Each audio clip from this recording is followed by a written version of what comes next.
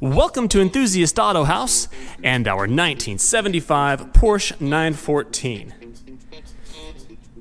It is an original California car, well cared for all its life. There are stacks of receipts dating back to the 80s up until a few years ago. It runs and drives excellent. It's the 1.8 liter flat 4 paired with the 901 5 speed manual. It shifts nicely through all of the gears. It has the original L-Jet fuel injection, which works fantastically. It also has no rust. Underneath the battery in the hellhole area is clean. Engine's nice and tidy.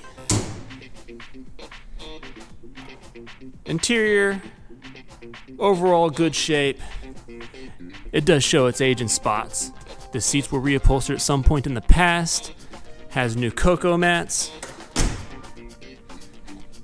The EMPI Fuchs replicas all look like new.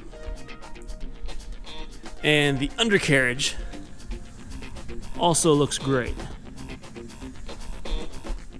The rockers are all in good shape. Right here behind the front wheel. All of your normal 914 trouble areas. All around, just a great looking little car. And again, not flawless, this is more survivor level. It's been polished a lot, as evidenced by some thin spots in the paint. So these three areas. But it really runs and drives excellent. It was obviously very well cared for.